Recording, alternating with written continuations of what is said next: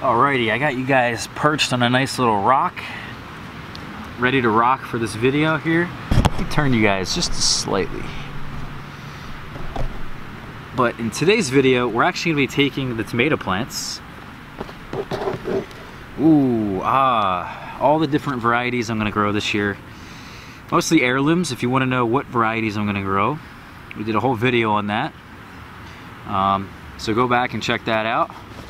Kind of titled My Garden Plans for 2019 or something like that. Or it's in the spreadsheet down in the description below. But today, because we have such large tomato plants, uh, we started them so early as a lot of you guys like to abundantly let me know. this is the orange banana variety here. It's a paste tomato. That's actually orange. It makes really good tomato sauce um, you can tell that this plant actually is root bound because we have roots coming out the bottom. There's also some coming out the side here.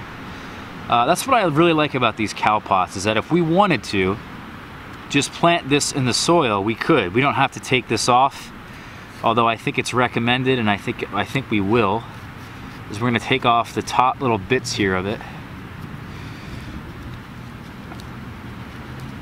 and uh, that will degrade in the soil just like that and if we were to just stick this here in the pot like we will um, this will eventually degrade and the roots are already growing through it.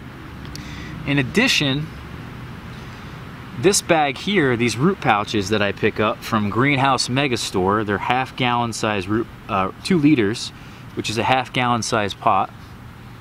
They're very inexpensive even cheaper I think than the cow pots um, and I can just fill this up with some soil. And when this thing now gets close to root bound in this bag I can then transplant this into the soil. And the whole goal this year is to actually lay them down flat. We're gonna get as strong of root systems that we can because we're gonna be um, actually planting them quite deep probably up to this leaf here. Because uh, if I stick this in the bag you guys can see just how high that goes right up to this right below that leaf. So what will happen is along this stem sorry there tomato plant but along this stem we'll form all kinds of roots. We'll get a super strong tomato plant and pretty much all the naysayers saying that uh, this won't be stronger than if I had either direct seeded it or had started a bit later in the season because we started these very early. There's no denying that. But this is the plan and this is exactly how it's going to work. Now, what I could do, I think I was getting to that, was that I could then plant this bag in the soil if I wanted to, and this would eventually degrade. But I'm not sure if I'm going to do that. Um, we may end up just cutting the bags, giving them, giving the root zones of these plants at least the place to go. That if this bag, for whatever reason, doesn't degrade very quickly, at least there's an escape option for them. And then we're just gonna put them all in this bin and they're gonna hang out inside for another, um, I don't know, another bit of time. what am I saying? They're gonna hang out, because uh, today's March 10th, to, uh, this morning was daylight savings time. Um, they're going to hang out inside um, sometime around mid-April, and then sometime around mid-April, we're going to start hardening these guys off to the outdoor environment. We'll give it about a week or two.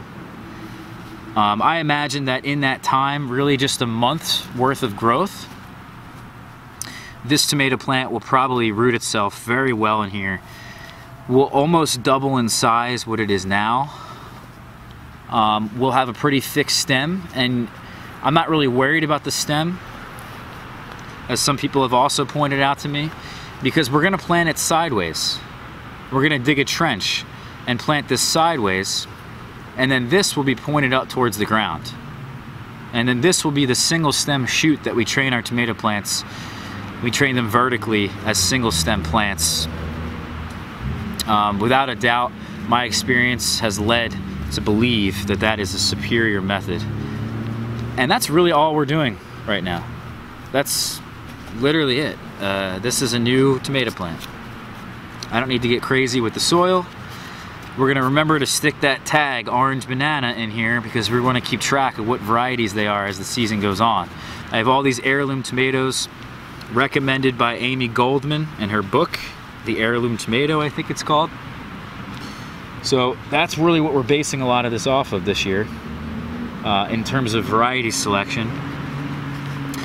And we're just gonna keep doing this. Let's do one more. So there's no more questions, or there is no questions, and people can understand what's going on here.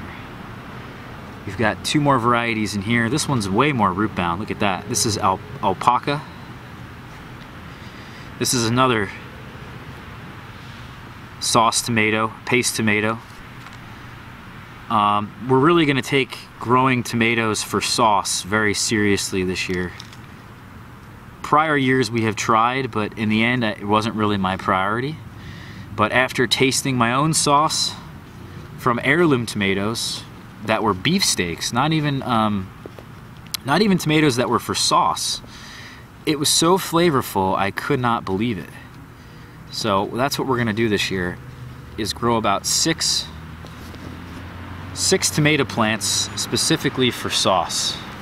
And I think there's going to be a total of uh, three varieties. Actually, I think it's five tomato plants.